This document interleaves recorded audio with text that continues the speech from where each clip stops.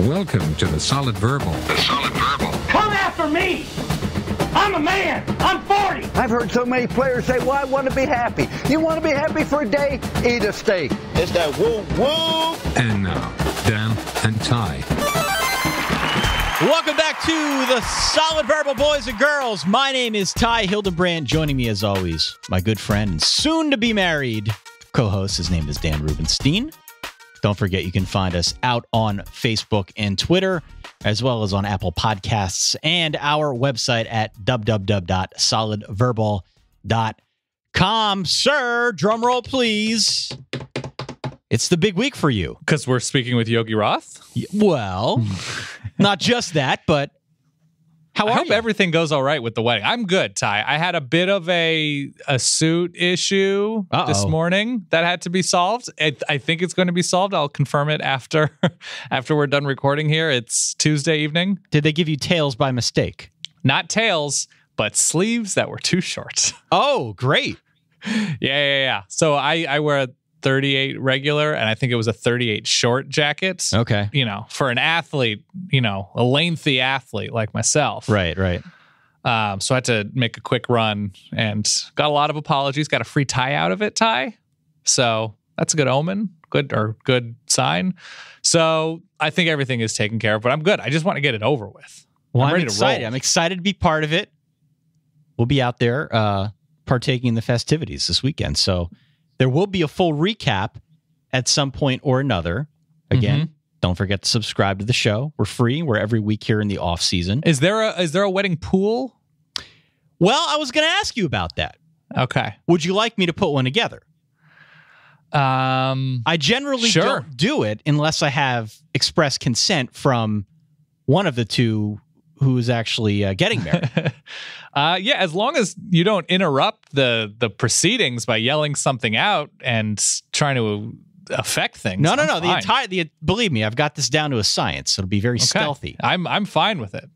I'll see what I can put together and, and live your out. best life. I'm really excited because I'm not married for another five or six, uh, four or five days, something like that. But we've got a really good show tonight. I'm particularly excited for this one. We do. So a couple weeks ago, we put together a special production talking about how college football coaches get hired.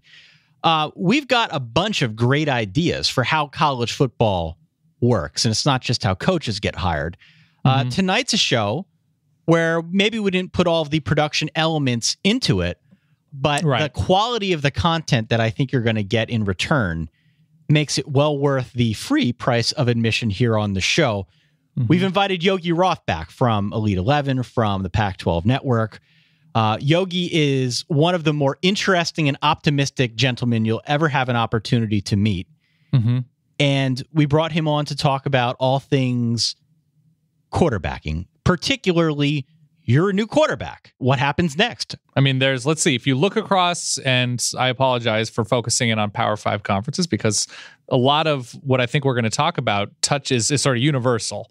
But when you look across the bigger teams, the bigger conferences, you have Clemson. Kelly Bryant looks to be the starter, but either way, there will have a new full time starting quarterback after Deshaun Watson takes off. North Carolina, you know, Mitchell. Maybe we just call him Mitchell. Maybe we don't even say his last name. We just really hone in on that. He's like Pele. Yeah. Exactly. So you have you know, North Carolina, you have Virginia Tech. You look across Big Twelve. Not a lot of new starters, but Will Grier is a new starter for West Virginia, but a, not a new starting quarterback for college football. Texas Tech working in somebody. So across the league, and we've seen the the quarterbacks in LA. Josh Rosen as a true freshman, Sam Darnold last year as a redshirt freshman. So more and more quarterbacks are being thrown onto the field early on and some of them sink, some of them swim, some of them completely thrive, and some of them completely tank. But what's interesting is Yogi's background with the Elite Eleven. You know, what nobody watches more quarterback play probably than Yogi Roth, just in general that exists.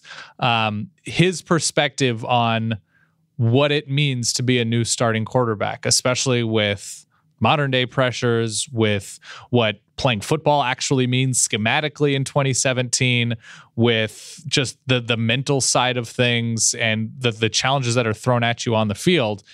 I think it's really interesting to sort of figure out where these quarterbacks' heads are at early on in their development. So let's dive in. We're going to talk to Yogi Roth see if we can gain some insight into how it works if you've been named a new starting quarterback, either as a freshman, as a transfer, or maybe someone who's been on the same team for a couple years and finally is getting their chance. We'll get into that here momentarily, Dan. But I do need to mention this before we go any further. Do you, ha- Please. do you have a dress shirt? Um, well, I have I now have multiple dress shirts thanks to a new friend of ours. Is this so? I well, I am about to have. I have not yet received it, but I am as our friends at the Men in Blazers would say, I'm tingling, Ty. I'm very Yeah. excited for this new dress shirt to arrive. From Proper Cloth, right? Yeah, absolutely. Proper Cloth makes finding a dress shirt that fits you perfectly easy as can be. Whether the collar is too tight for you normally, or the sleeves are too long, or just something's way off. Now, ordering a custom fit shirt has never been easier thanks to Proper Cloth. All you mm-hmm. got to do is go to propercloth.com. You can easily create a custom shirt size in just seconds. You answer 10 easy questions. It is a foolproof process. Dan, is that accurate? It's completely simple. I loved it. You don't even need a measuring tape. Plus, they have over 500 fabric styles you can choose from, including premium Italian and Japanese fabrics, as well as business and casual styles, all starting at just 85 bucks. Best of all, they guarantee a perfect fit, which means if somehow you get it, it doesn't fit perfectly, they promised to remake it for free. They are the highest rated custom shirt maker on all of the Google sphere, Dan. This is true, and I this is a totally true story. I asked uh, Jesse Palmer, ESPN college football analyst. So everybody likes to make fun of his suits and the way he dresses.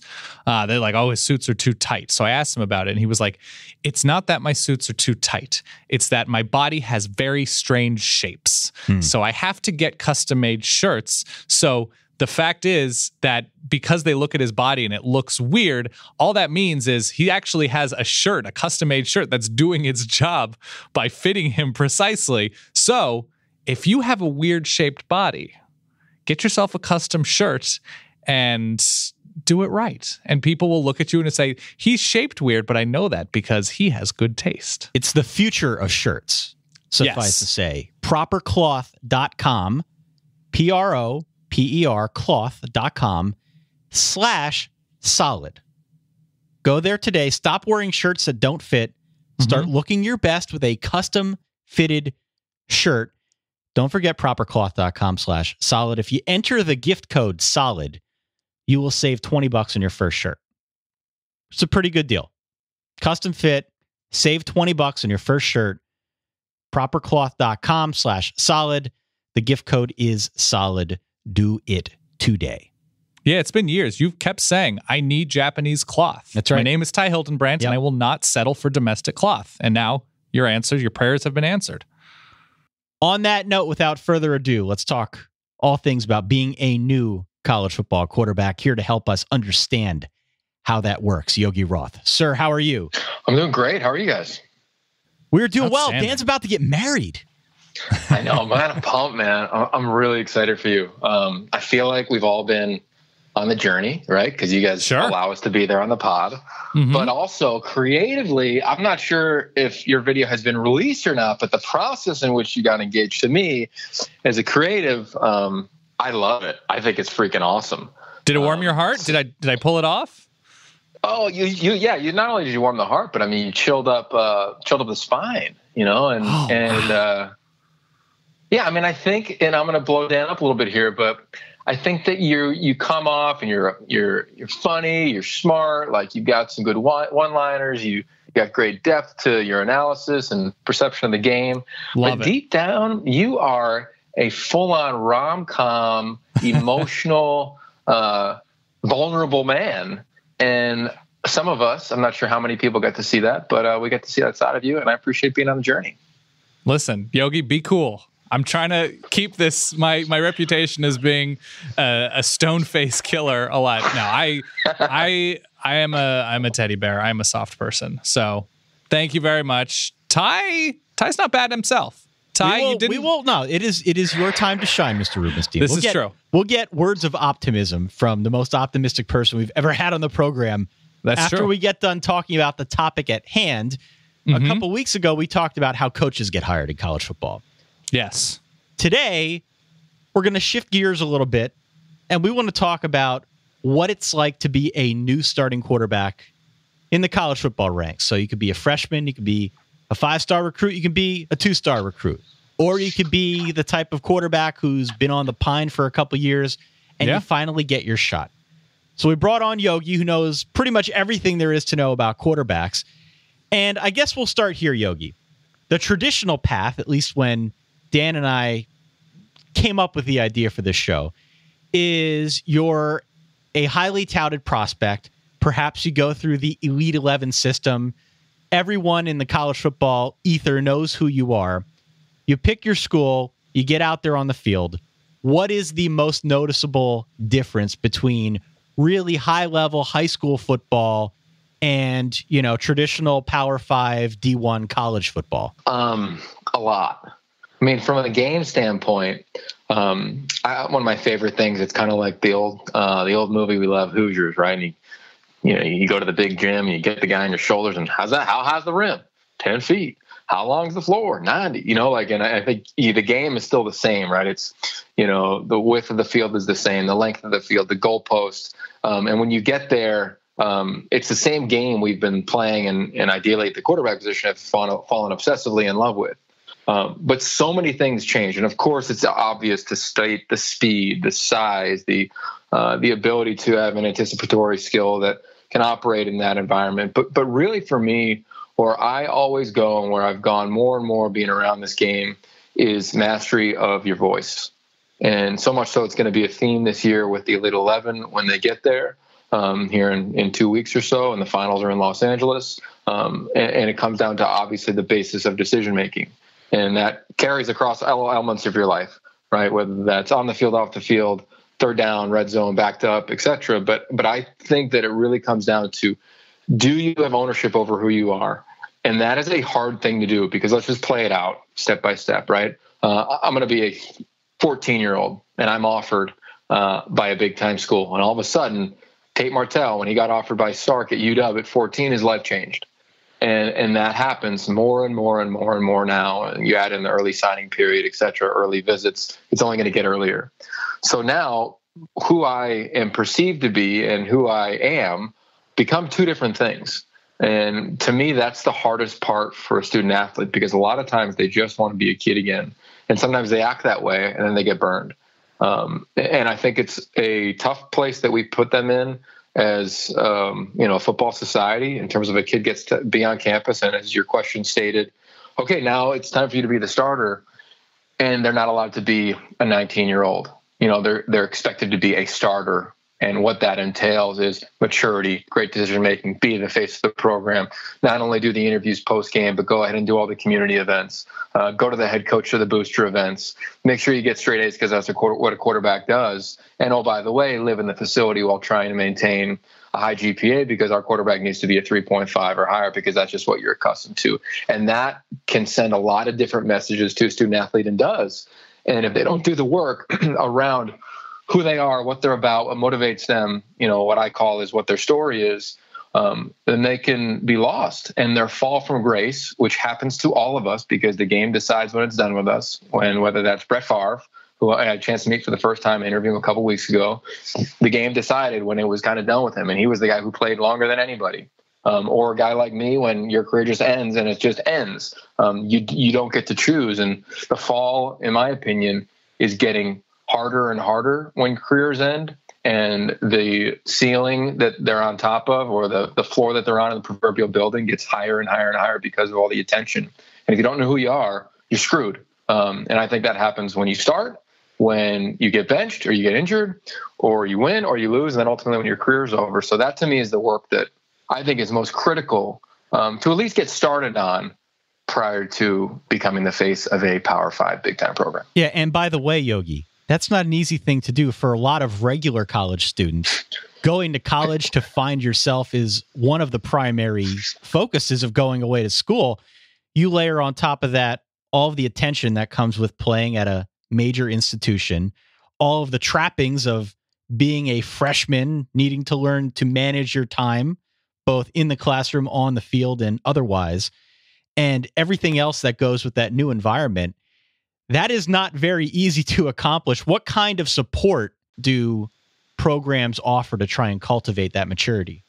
It's a great question because coaches are recognizing this, uh, definitely in the Pac 12 conference, so I think are further along um, in elements off the field. Um, and just in the communities of those campuses, a little further along than some other places around the country. That's not a knock. I think that's just the reality of being in major metropolitan areas and the students that you're attracting from all over the globe, you know, kind of raises everybody's game. Right, Stanford's the easy example, um, but I've been on pretty much every campus this off season, and, and obviously over the last you know nine plus years as an analyst, and and they're and they're doing the work to do it. The, the challenge is it's kind of the good with the bad, right? You're only allowed 20 hours per week, um, and and if I'm a football coach, like I want to teach my guy ball, right? Um, so how much am I dedicate that to the other side? Uh, guy who does it, I think, as well as anybody is Chris Petersen. You know, they got real life Wednesdays. You know, I was just up there and spoke at one last week, um, and they talk everything with their kids, and and he'll bring them in for, you know, sometimes five minutes after a workout, or he will, uh, you know, bring in a guest speaker like me for an hour um, to to hit a different topic, and, and he goes across the board. And I think it's kind of like, um, you know, when a freshman comes in as a quarterback, the, the first thing you teach him is how to take a snap you know, how do you want their feet and the shotgun or under center, depending upon your system, right? How, how you identifying a linebacker? How are you getting in the play? What's the cadence?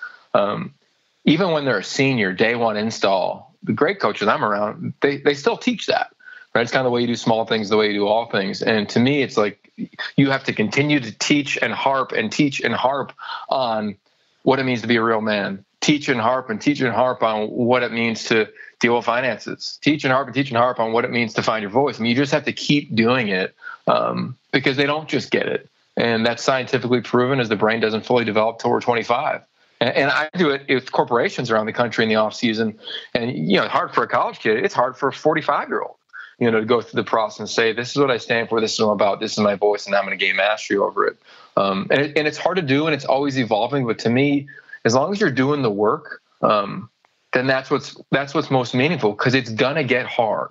You know, we used to always say it at SC, and you know, obviously that program is a spotlight. I've always felt when you play quarterback there and you sign out of high school, you're a household name. You know, the country knows Jack Sears, but when you start, you become a Heisman candidate, and you got to be ready for that, and that is really hard to do. So you've got to kind of do the work with the student athlete when they get there, because the quarterback, as you guys know, and your listeners, I'm sure know, they're the only one that feels the pressure like a head coach feels it and it's not exactly the same, but it's the closest. And they're kind of in a foxhole together. You know, they're kind of in that bunker together when it gets hard, specifically at a great place. And that's why one of my favorite questions to ask kids when I get on campus is what's that relationship like? And for for a, a fifth year senior and a head coach who've come together throughout the whole thing, like how is it developed? You know, how do you deal with him as, as a young kid? And there's so many great stories in the history of college football about you know quarterback way back in the day walking to their coaches and say, "Hey man, you, you can't talk that way um, to me in front of the team. Uh, you can rip me all you want in your office because I need to make sure you know I can still be the guy in front of them, or vice versa." And I think that's a coach's job is to learn their learner, which allows them in turn to you know, kind of figure out how to how to help them and teach them uh, to find their voice. So we're now watching a sport yogi in which the expectation is now that a quarterback who comes in as a true freshman, a redshirt freshman, we saw, you know, Jameis Winston, we see Marcus Mariota, we see the quarterbacks in LA succeed almost immediately. What do you credit that early success with? What do you credit that early success? And when you look around college football, where where do the expectations get out of hand? I guess, and and why is that early success a thing, whereas it, it, didn't used to be a thing. You know, is it is it sort of the preparation that they're getting in high school that's better? Is it the fact that coaches are getting better, you know, teaching and speaking with and learning the language of younger players? What what is this sort of attribution to that early success? It's it's a great question. Um, I, think that a, there's there's there's a few major elements to that. I can remember starting the Elite Eleven nine years ago when I jumped on and, and joined the, the staff and went down to Texas and two years later, went back down to Texas and it was like a TCU camp or something. I was like, wow, they're way better this year than they were a couple years ago. And it kept getting better and better. And you dive deeper and deeper. And all of a sudden, you saw that seven on seven was kind of thing. So the kids in fourth grade, it wasn't just you're the best athlete, play quarterback. It was like you're the best athlete. You can throw the ball, and I'm teaching you cover two. I mean, it just became the evolution of Friday night tykes. Good, bad, and different. Football has become something taught much younger. Um, so I think there's that. I think high school coaches um, are really soaking up information. College coaches are smart. I mean, doors are open everywhere across the country to come in and learn and teach. And then, of course, the game has shifted. Um, the the reality is is that it's an easier game to play right now um, at that position. And the way it's being taught, and this isn't a knock, is the way that it's being taught a lot of times is okay, where can we find success and put our best player on the field? And to do that, it's kind of like what you used to do with running backs when they got to college. When you get a great running back, like when Reggie came into SC, it was all right, let's give him five plays.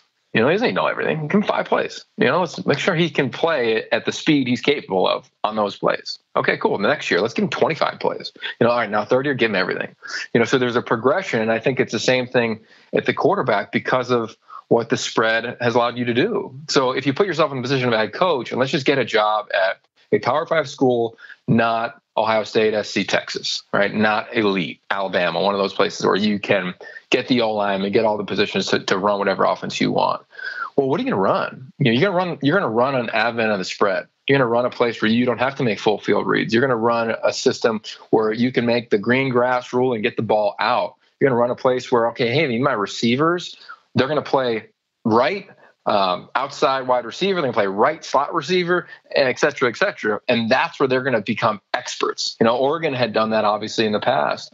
Of I'm going to be so good, and I'm going to over rep the, the daylights out of this system, so I can kind of just operate in that world. Now, when does it get hard? It gets hard when all of a sudden what you expect doesn't happen. And I was talking to guys in the NFL this year about quarterbacks and, and drafting them. And they said, you know, at this specific team, they were like, man, it's going to be hard for us to ever draft a quarterback because when you come out of college, you go to, you know, George or Jordan or one of the incredible quarterback builders that, that all these guys go to, and they get taught all the stuff, right? They get taught the fronts and how to read them and the coverages and everything goes, but you don't really know it because you haven't done it. You know, your 10,000 hours of playing the position are legit, but they're not necessarily – changing protections, resetting fronts, you know, identifying them, let alone operating in real time against them. So it, it's just it's just such a big learning curve. And in this era of coaching, you don't have the time, which is why I go back to the question: What would you run if you're in college? Well, I want to get to seven wins. I want to get to nine wins. How can I do it? Right. Well, let's get the ball out. And I think that's important to note um, in terms of why guys are having success. And, and it is the simplification of a lot of these offenses. Um, and that's just to me the, the truth of it. And there's nothing wrong with that. That's that's the reality. Fair enough. And so when you see these super young quarterbacks, another one obviously Deshaun Watson, who had a lot of success early on at Clemson and went on to win a national championship. When you see these guys as as freshmen or redshirt freshmen, first year starting, you know, still really new to the the field in game play, what are you shocked to see? What floors you to see, you know, this guy's 19 and he's already doing this? What does an advanced freshman or an advanced redshirt freshman, as silly as that term sounds like, you know, is it is it progressions? Is it being able to sort of figure out disguised coverages and, and blitzes? Is it poise and calm that should come later? What is what does a special advanced freshman, redshirt freshman look like? Yeah, it's a, it's a fun conversation. I, I to me, um, because of the stages they've been put on in high school, um, those stages aren't that big, you know, because they don't know any better. You know, you look at Sam Darnold last year, he just kind of went out and balled. You know, you look at Shane Buechele last year, you know, he didn't flinch. You know, there, there, it just wasn't too big of an environment for them. To me, the the fun study is second year players. And a lot of times, second year quarterbacks, specifically, whether it's redshirt sophomores or true sophomores, um, they struggle. And a lot of that, at least in my opinion, based on talking to people and, and being around them, is all of a sudden now the uh, all the stuff grows around them, right? I hate to use the term noise, but I'm going to use it, right? All the noise kind of grows. And I can remember talking to a second year quarterback last year, and he said, uh, he goes, you know, when I when I came back, they were like, okay, you got to be the leader here, and which is totally fair. Okay, you're the quarterback. Let's let's be loud now. And he goes, man, I got like 50 year seniors here, and nobody really taught me how to do that. you know, so we go back to the high school level of we're repping the daylights out of things in all these seven on seven tournaments. But again, that's why I, I, know I work with Elite 11, but I'll get on the table for us. I don't think anybody in the high school space is doing what we do beyond the X's and O's. You know, a lot of guys can teach football beautifully, but what we do on the sports psychology front, on the mental training front, on the domestic violence front, on you know the, the 360 evolution of quarterback, and we only get it for about 10 days or so at the Elite 11 finals in the opening, but at least gets them going a little bit. And then the coaches, obviously in college, do a phenomenal job of taking it to the next level with all the resources these places have, with guest speakers and different curriculum, etc. But my point is, is that the second year, all of a sudden, it's like, whoa, I don't, I'm not just playing. You know, I got all this other crap I got to go do, and that's part of it. I mean, it's kind of we call it an elite eleven. Trent, it's his phrase. He's, you know, it's you embrace the burden of influence because that's what you have at the quarterback position, and that to me is way more interesting than oh my god why is he ripping it as a first year player yeah his his progressions are great his anticipatory skills are great and coaches are calling it to the skill set sam you could do anything with him because he's an elite player josh was the same way as a true freshman josh rosen some guys you got to tailor what you can what you can call and, and where you want to go on based on obviously game situation specific down and distance etc but to me it's the second year is the study okay now how have you dealt with this? How have you handled this? Because it isn't just let me go ball. Right? There's more to the position. There's more to the expectation. There's more to being on the front of the poster. There's more to being on the billboard. There's more to being all the interviews. There's just more to it. Um, and, and, you got to deal with that. And, and to me, that is the funnest part of being able to coach quarterbacks or be a coordinator or obviously be a head coach and kind of be lockstep and guide this young man to that place. And and that's where you see some guys go off the rails. We've seen that before, and we see some guys struggle, and we see some guys thrive. And um, it, it's going to be a new thing I'm really tuned into um, after this last year of second year players and really evaluating the mental side of their growth as a performer versus just oh my god they've got full mastery of the whole playbook. Like no kidding. Like they better have that. You know like welcome to the, the position that's your job. We've talked about some rather deep subjects here. So, not to oversimplify, but you mentioned the playbook. I'm fascinated by the verbiage, the terms that are required just to make the offense purr. What are the tricks to getting a freshman, to getting a first year starting quarterback to not only understand what the plays mean and how they work, but also simply memorize all the terminology so that they can properly call out the plays?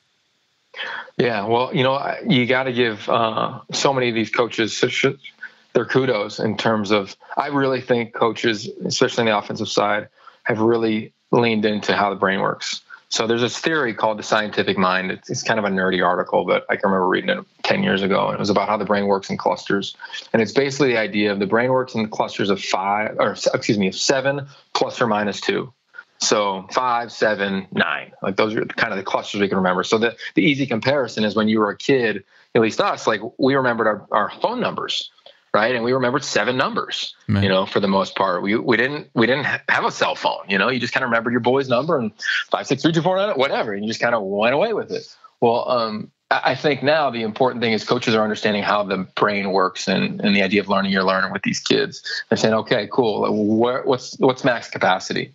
What do they need to learn? Okay, I need to give them um, three things. I could, if they're a young guy, for instance, so I can give my quarterback basically like a picture, and this picture means uh, this is your protection, this is the the route combination, and this is your drop. This is oversimplified but they're going to tell the O line lineman, the center, or whoever's closest to the sideline, hey, this is the protection. And they'll verbalize that element to the O line. The receiver is the same thing. So I, I think as the progression of quarterbacks uh, in their careers at specific institutions go on, they're not asked to learn everything. And, and that is the progression of a learner. Well, some places are. Some places are like, hey, this this is the offense. You know, Florida State, they're fun to watch because you know that's it's, it's, good stuff they're doing there. You got it real plays, and and I, and I say that in terms of like West Coast offense, dual right Z short A two Z snag. You know, like there's there's elements of that at some institutions, and I think that other institutions kind of get uh, unfairly lambasted for you know they're, they're just you know we just think that they just call red right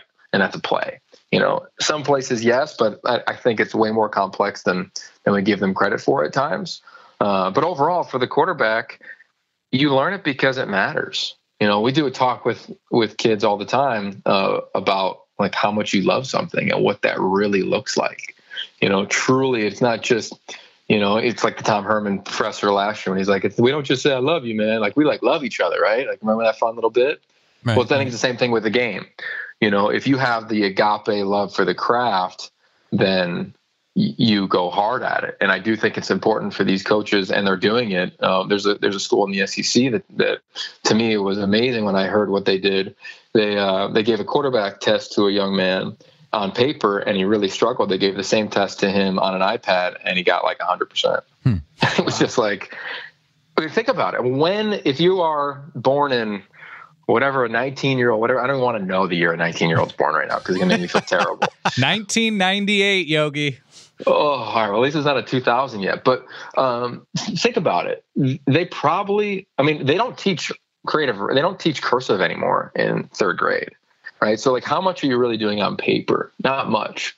You know, so again, I go back to how guys are learning and learn your learner. And to me, the amount of teams that are studying the mental side of performance, not only as performers, but also how you become a, you know, a process based thinker. Um, and how they're doing that is is is across the board. And if you're not doing it, you're kind of missing the boat, you know, to be quite honest, because you're not understanding how these kids learn.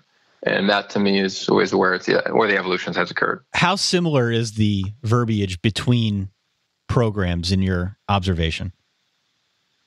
Uh, it's across the board. I mean, you're going to go to Stanford, and you're going to get three plays.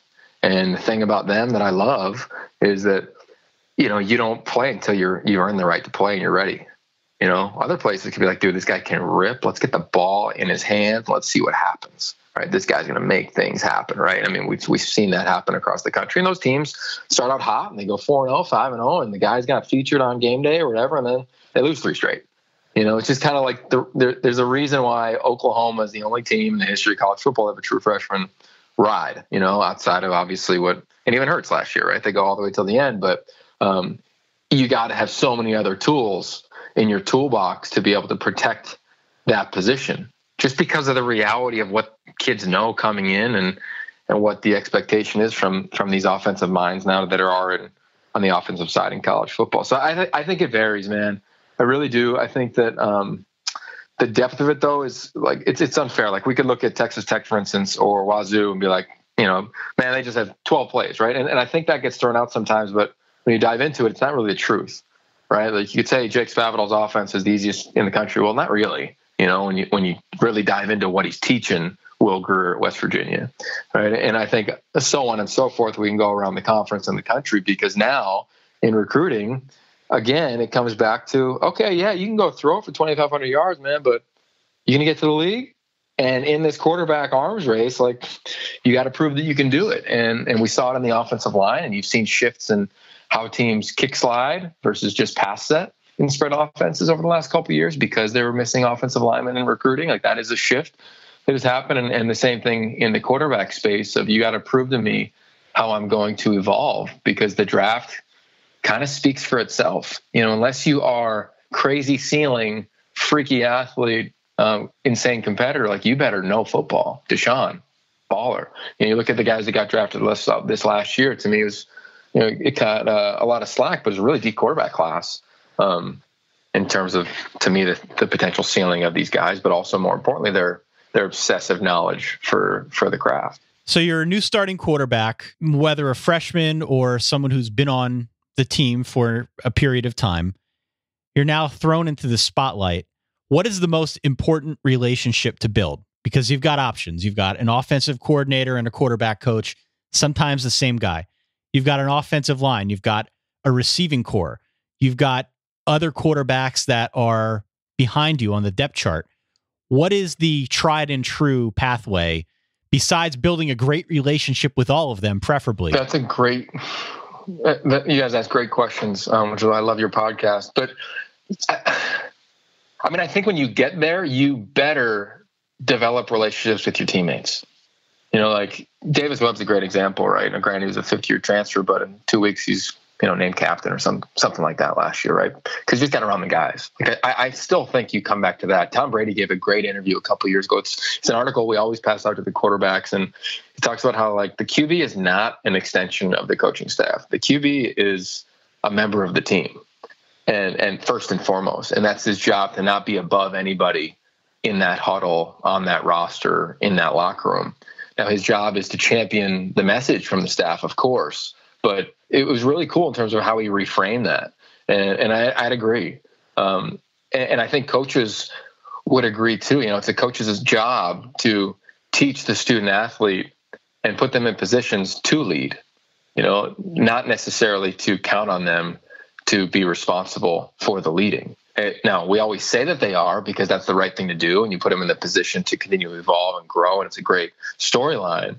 But I think if you asked any Fortune 500 CEO, aka head coach of the Power Five, and said, "Okay, you're just giving the keys to your 20 year old 18 year old, 19 year old, hell no, they're not doing it. Their job is to put them in position to thrive and make them feel as though they're driving the car. But we all know who is necessarily doing it, especially early on. So, to answer the question, I think the first thing is is your teammates, um, especially that position, because you can get sniffed out as a pretender really quick. You fall into one or two categories, in my opinion, as a quarterback, and it's one of the first things we say to Elite 11 kids is you either love what the game does for you, which is this, you know, the Instagram, the Twitter, the, you know, going on different shows, or you love what you do for the game. Period. End of story. And uh, and it's it's a tough question because nothing wrong with loving what the game does for you. Like there's there's there's nothing wrong with loving the shine, um, but it can't be first. You know. So to me. Uh, you, you go there and then it's it's the guy you're working with every day i mean they you have to be able to be honest there so often. Um, I can remember Mitch Mustain. I'll never forget this uh, for the rest of my career. And you guys remember Mitch, he was one of the most prized recruits, you know, in most in you know this era of college football. Went to Arkansas, played as a true freshman, balled out. Um, a lot of drama there, and transfers to SC. And I'll never forget the first day we came into the quarterback room. And uh, my job was to kind of, you know, say hi to him and, and let's see where he's at. Like, what does he know? And it was so important that he could be honest. I can remember I asked him a couple just fundamental questions in our system, and he, he was trying to answer. And I was like, You never been taught that before, huh? And he's like, No. And I was like, Okay, cool. I was like, This is a safe space. Like, you need to be able to say, I don't know. And versus I have all the answers. And that goes back to the first thing we talked about is mastering your voice. You know, so often QBs just try to, I call them political figures you know, you just say the right thing, you do the right thing. And I get it. I mean, we could almost do a funny podcast where we just give answers at press conference because we know exactly what they're going to say. You know, I want to I want to thank my family, I want to thank God, and it's all about my teammates, right? Like we know what they're going to do, but I think in the evolution of them as players, they have to be able to be honest eh, versus trying to always impress. And that is a, that's a cool evolutionary element because sometimes you want to be the smart guy in the room, sometimes you want to ask questions so you look smart. I mean, all those elements and insecurities are legitimate. And I've always thought quarterbacks are like supermodels, you know, like they've got thin skin to a certain degree, you know, because they always, you know, want to want to be a rock star. And when they walk down that runway, they are rock stars. But when they trip and fall, they can go down a dark path, which we've seen with quarterbacks in college, the NFL, and even high school and recruiting. And I think you have to be sensitive to that. And, and the adult in the room is the QB coach or the coordinator. And that's the that's the relationship where you got to be super honest, be able to be like, you know what, dude, I don't have a clue what cover two means. I have no clue how to say this play. And then it's on them to not call it and not put you in that situation your first year. And then by your third year, you might be calling the plays in the offense that you're in. Yogi, how much do you believe, if at all, in in sort of fire development, in sort of saying, okay, we have this freshman who's clearly the most talented QB. He's soaking up the playbook. He, you know, he's responding. He has the respect of his teammates, but you know, our first game of the year is against a huge team. It's, you know, it's in Baton Rouge, it's in Austin, it's in wherever, it's in Athens. And it may not do his confidence, it may not do his development the the sort of the best favors if he goes in there as his first game and struggles and maybe he he goes down from there. And how much do you believe in the sort of like well it's only a matter of time before he starts so let's get him some reps on the bench sort of mental reps and then by game 4 we'll see where he's at. Is is how fine a line is that? I think it's really important. And that's why these coaches are really into the mental side of performance now you know, and they got to understand the insecurities that go with that and the pressures that go with that and what goes into that. And, it, and I think if you don't have anybody else, it makes it um, easy an easier decision. You know, the SC fans always bring it up, right? It's man, what? Imagine if we started Sam against Alabama. I think they would have got smoked as well. You know, yep. week one, um, and and I don't think he was ready then. Um, and I had been at all their scrimmages and at their practices and at their press conferences. And, and whenever I go, I just listen. Um, and the way he talked versus the way Max Browne talked and their confidence, um, you just didn't know. You didn't know what you were going to get. Uh, and and you thought you knew what you were going to get with Sam or with with Max, you know, so, so you went with him. You know, if he wasn't there, then I think it's interesting, right? You play in that instance Jalen Greene because he would have been a junior or whatever, and you know would have been getting the reps in training camp? I, I don't know. You, you, I think it really goes down to the psyche of the kid, and and you got to play that out uh, of of who they are, and and there's that unknown of you don't know. You know, you don't know how they're going to perform. You know, you can see it all day long. You try to recreate competitive cauldrons, which is what Bill Walsh used to call like how you get a guys ready and practice ready. You create all those environments and you know, situations on the practice field. Um, but if you don't have competitive depth and you don't have, you know, dudes you're going up every day like an Alabama defense or you know SC this year or whoever it may be or UW's defense, then you don't really know. So that's the beauty of the game. But to your point, I, I think you got to be careful. You know, you look at I think it was Jake Browning his freshman year, and they roll him out against Boise on the road. Mm-hmm. Um, I think it was Chris Petersen's like first game, right? As a head coach, might have been his first or second game. Um, and then we didn't know who was going to start, and away he goes. And, and they don't call the most aggressive game, and it comes down late. And I think they end up losing. You know, they don't they don't convert a couple things at the end, and you protect them in your play call, and then becomes a point where you say, "All right, let it rip." You know, I, I think it's at every position too. I can remember when Larry Fitzgerald came to Pitt, and you know, unfortunately, he beat me out. But you know, I was getting the burn early on, and the coaches were just like, "Is he ready to really play?" And he went up to one sideline, was like, "I can." We were losing in a game, and he goes, "I'll make the play. Like, just put me in." And I'll never forget. Walt Harris looked at him. He goes, "All right, it's your time." The next play, called a fade, touchdown, career away he went and that was like I think week two against Texas A&M or something like that, and they just didn't know. You know, does he know his plays? Do we trust him? Is he going to run the right route on a slant on third and two, or is he going to try to go high and we're going to be a pick six the other way? Like you just kind of don't know, and then you feel it, and and that's why I go back to like, and this is me on my soapbox here of NCAA and recruiting. I think there's one more change they really need to make because they don't let these coaches really evaluate. You want early signing period, you want all these things. Well why can't they go to camps at like Elite 11? Why can't they get more contact around them like you can in basketball? I can be a basketball coach, head coach, and I can go to Vegas and watch a kid play. I can be an assistant coach in volleyball and literally coach a high school kid who I'm recruiting at the time on a club team. But in football, I can't go watch the opening. Like I can't go learn more about my guys. You know, I only get I can't bump them. Right? I can't talk to them when I go watch them throw, so I can watch them throw 40 times in May, like coaches are just just finished up doing on the road, but can't really get around him unless he can make his way to your camp. And I got to offer him, oh, by the way, in ninth grade. Like, how are you really supposed to know the psyche? Um, and that to me is why there's elements of inconsistency in college football because it's just it's just hard unless you're in an elite place or you've got you know insane uh, you know uh, elements that recruits have to hit like they do at UW for instance. You know you don't see them with surprise recruits on signing day. They know they're 18 20 guys because they've gone through the process and it takes them a little bit longer but they're not going to flinch. They're probably not going to miss.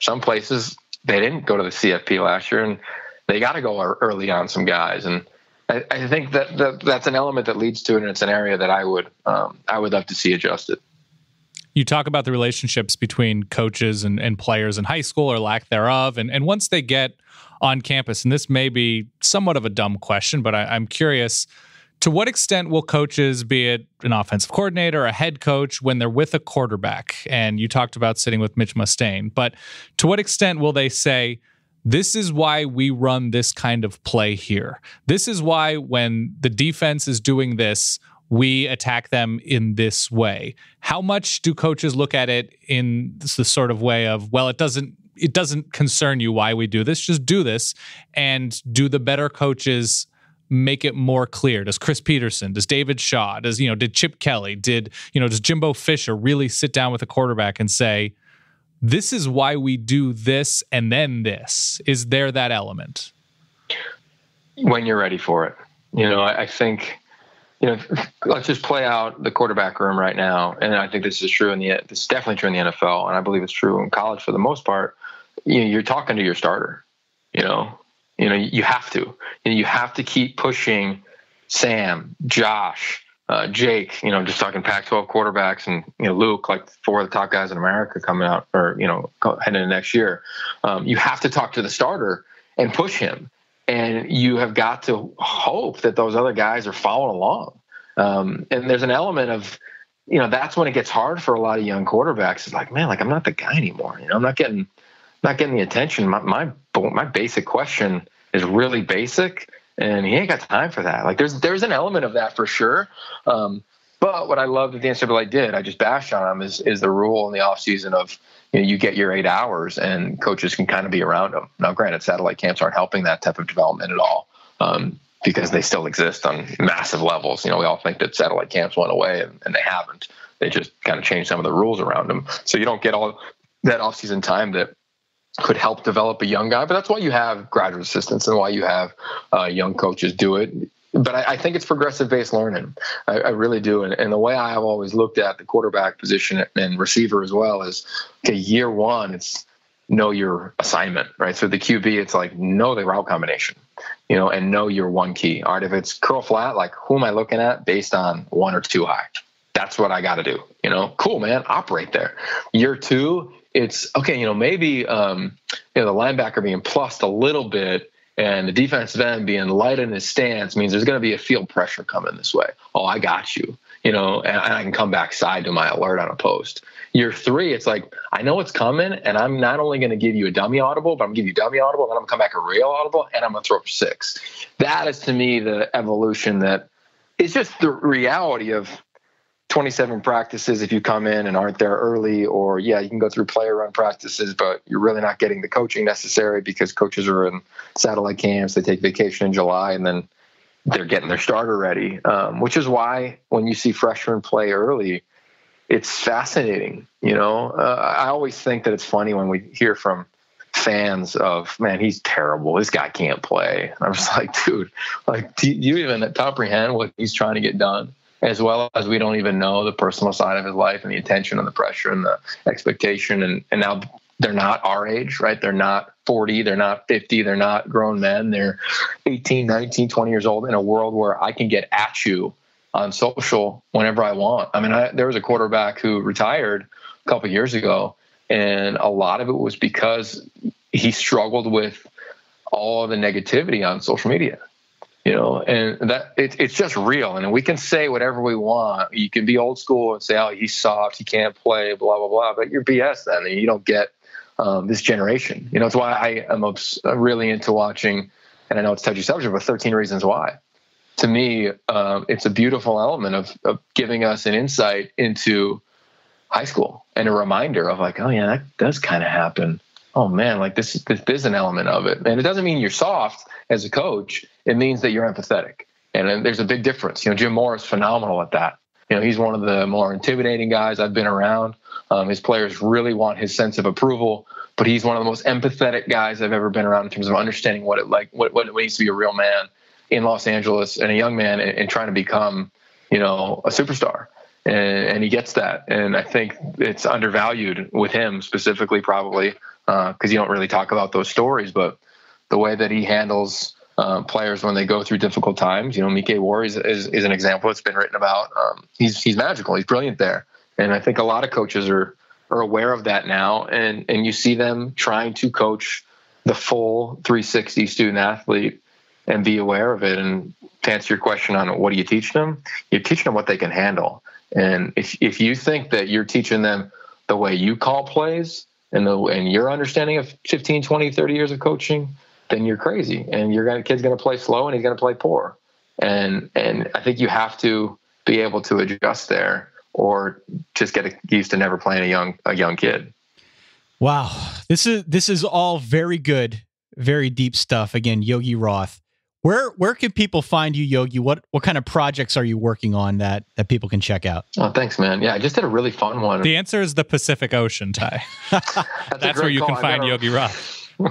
You're gonna be. I'm gonna be in the Atlantic here pretty soon. I'm gonna go yes. surf uh, Biarritz this summer and San Sebastian. So I'm kind of pumped about that.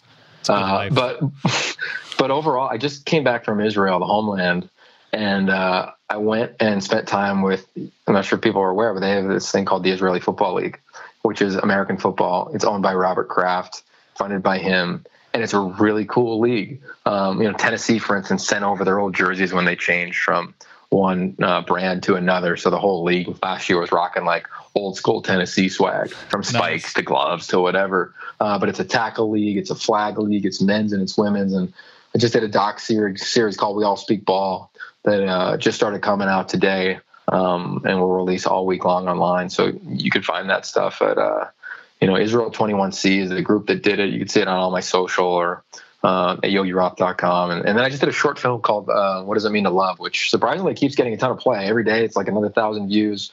And it's the same thing. I went over in Israel and I was like, man, it's the holiest place in the world, the most conflicted place in the world. And clearly with the political element that, that we're dealing with, it's, it's a touchy subject. And I was like, what if we just ask people in the old city of Jerusalem, from Arabs to Muslims to Christians to Jews, like that one question?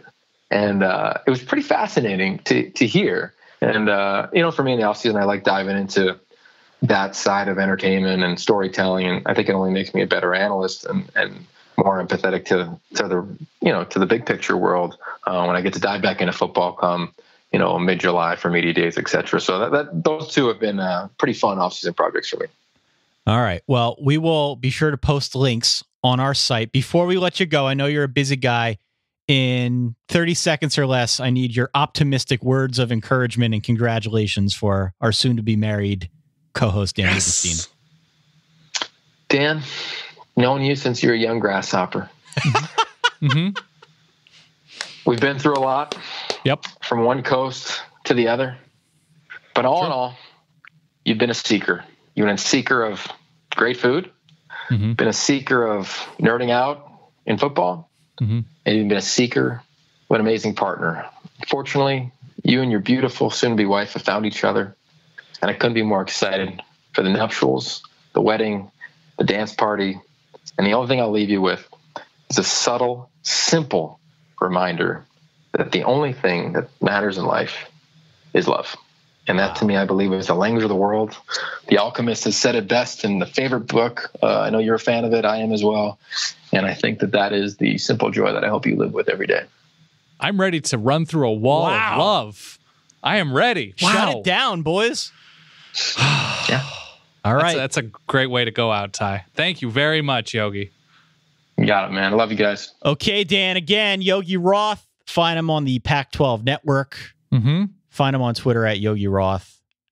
Yogi's an interesting guy. He's into a lot of really cool things. And what I like about what he gave us this evening, he's not just looking at it from a pure football perspective, as I think is the natural impulse here on a college football sure. show, right? He he tends to look at the entire individual, learn the learner. You heard him say it a bunch of times.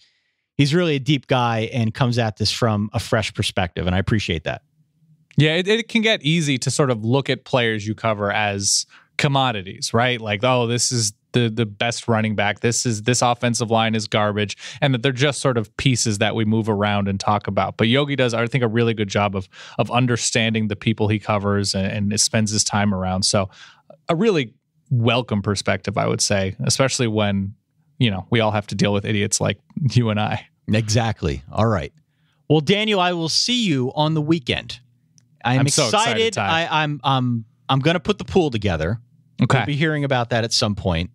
You're not having a traditional wedding, at least not as traditional as mine. So it's it's pretty. There, it's not as out there as you think, Ty. It will be it will be a unique challenge for me as wedding. You're going to come hungry. I will come hungry. Uh, this is gonna be a good one, Ty. And I'm told there will be enough food. I'm told there's gonna be. It's a big band, Ty. There's gonna be a big Great. dance floor. Great. Uh, we've got I think the the location is ideal. So I can't imagine anything is going to uh, to get in your way of having fun. All right. Don't forget again, propercloth.com slash solid. Go there today, get a custom fitting shirt. Mm-hmm. If you mm-hmm. enter the gift code solid, you will save $20 on your first shirt. Ordering a custom fit shirt has never been easier thanks to Proper Cloth. For that guy over there, my good friend, soon to be married, Dan Rubenstein, for myself, Ty Hildenbrand. Thanks again for tuning in. We'll be back with you next week. In the meantime, stay solid. Peace.